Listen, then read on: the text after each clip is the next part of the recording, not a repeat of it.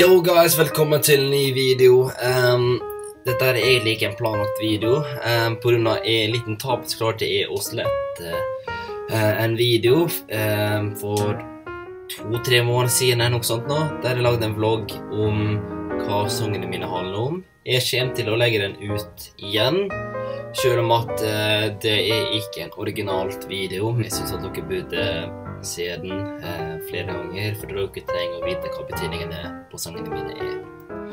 Eh, det er egentlig ganske bra at jeg setter på igjen, på grunn av Jeg tenkte litt rundt egentlig på mine sanger og alt sånt nå. Eh, jeg kommer ikke til å lage flere sanger som uh, en artist. jeg er ganske fornøyd med de fem sangene som jeg har lagd. Eh, så, dere, så det blir nok ikke mer musikk i denne kanalen etter denne videoen her. Jeg har egentlig ikke stor grunn til å egentlig lage dem, for egentlig. Eh, jeg har jo egentlig lagt dem pga. jeg har vært forelska i folk og sånt nå, og at det har vært en betydning til andre folk. Um, men jeg har nå egentlig ikke det lenger. Det syns jeg ikke det er så viktig å lage disse sangene. Hvis jeg skal lage sanger, så kommer jeg nok sikkert til å være for meg sjøl. Jeg kommer ikke til å uh, publisere det og vise det til andre, sjøl om at det er litt moro. Men jeg kommer ikke til å gjøre det. Men jeg håper at dere forstår hvorfor jeg gjør det. Um, og så håper jeg at dere liker denne videoen her som jeg lasta opp for noen måneder siden. Så ser jeg dere neste fredag.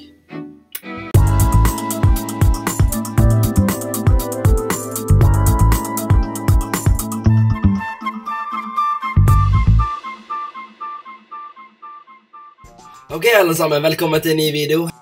Og i dag så skal jeg gå gjennom eh, hva sangene mine handler om, eh, hvorfor jeg skrev dem, og eh, hvorfor de er så spesielle for meg. Men jeg skal gå gjennom selve sangen, eh, det som er viktig med å få med seg gjennom hele sangen. Så da blir det litt enklere med å eh, skjønne på hva sangene handler om. Jeg håper at dere liker denne videoen her. Eh, hvis dere gjør det, så hadde jeg likt det veldig godt. og hvis du ikke har gjort det allerede, så kan du abonnere til kanalen, som du ikke mister en video fra meg.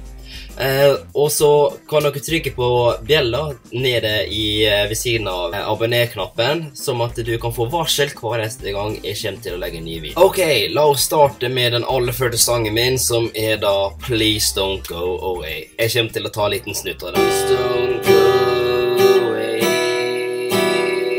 I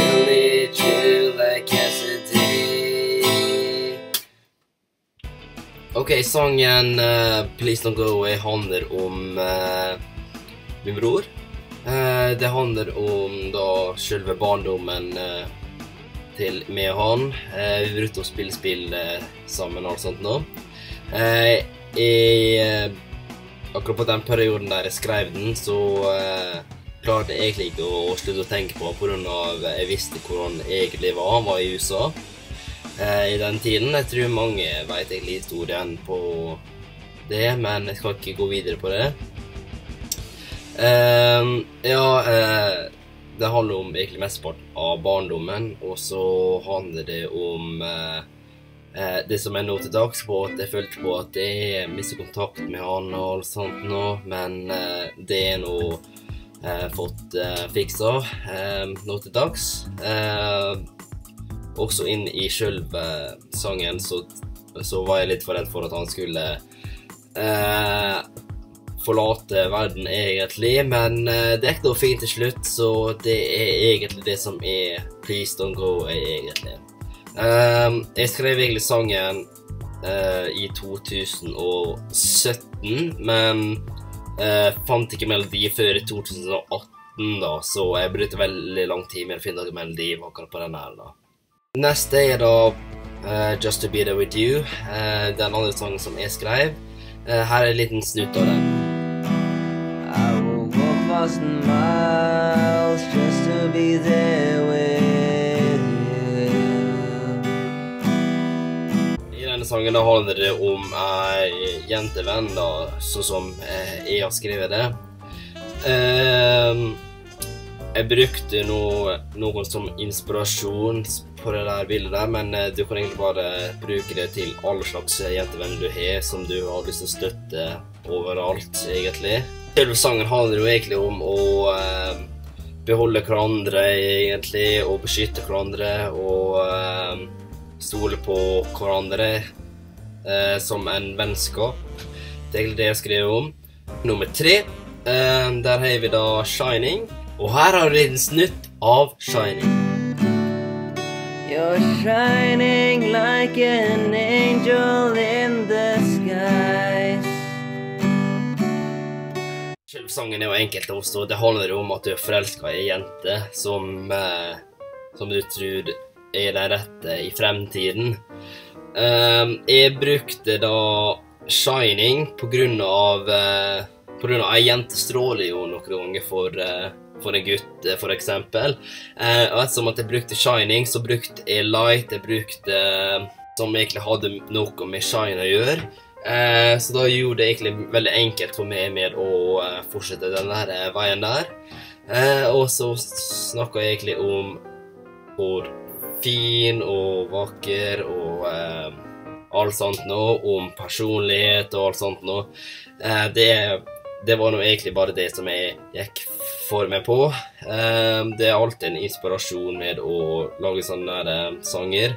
Eh, jeg lagde egentlig liksom bare sang av jeg ville eh, lage en sang om forelskelse, egentlig. Det handler om ei som jeg var forelska i også, eh, men det tror jeg folk skjønte hvis de egentlig ser på teksten. Sangen ut er da Forget. Her har du en liten snutt av den sangen.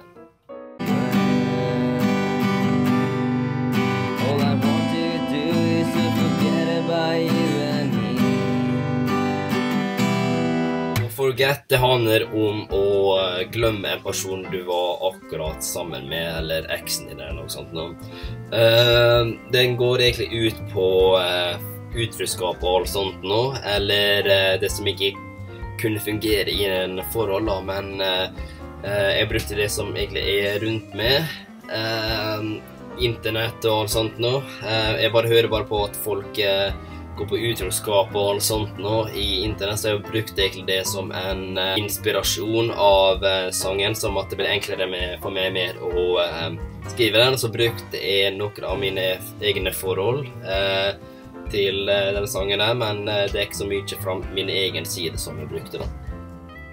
Sang nummer fem, det er da The Lady. Uh, her er en liten stutt av den sangen.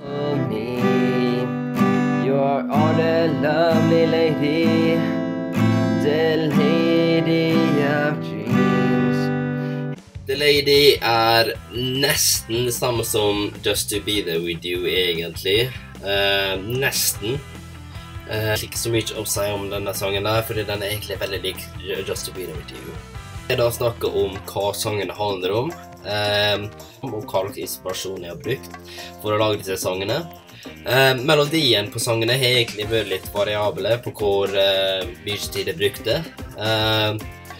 Eh, alle disse sangene går egentlig mellom periodene august 2018 til mars 2019. Eh, og jeg holder på med å lage en ny sang nå, som jeg kommer til å bruke litt mer tid. sånn at jeg kan være litt mer rim, og eh, at melodien kan bli litt eh, bedre. Eh, jeg prøver alltid å forbedre meg etter hvert.